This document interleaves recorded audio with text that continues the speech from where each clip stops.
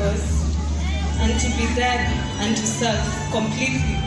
To be a living sacrifice, holy and acceptable. For one thing he asked for is for a broken spirit and a contrite heart. For one thing that I pray for is to stay in thy courts, for a day in thy courts is better than a thousand elsewhere, and to walk in the ancient and to walk in thy ways and to trace the ancient paths and in them.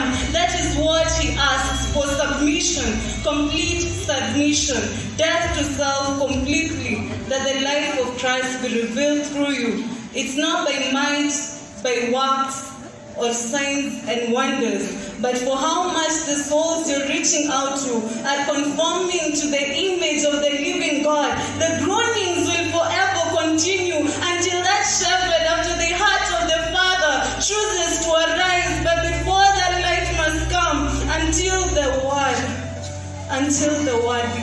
light.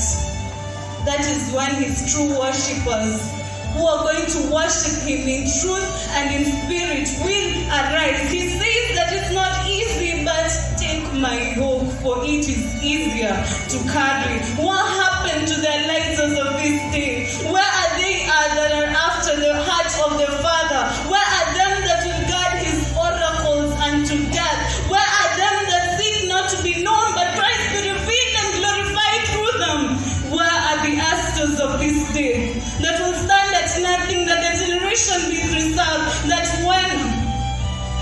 they stand before him, they will cry and ask, Oh God, that I may be revealed, that you may be revealed, that you may be glorified.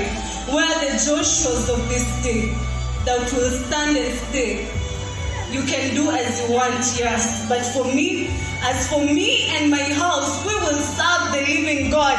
We are them that will tarry in the secret place, oh God.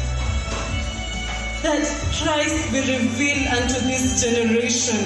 The groanings will forever cease until we lose ourselves completely, until we daily die.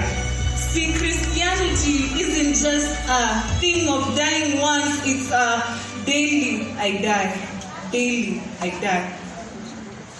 That Christ be formed in me, that he be revealed and he glorified.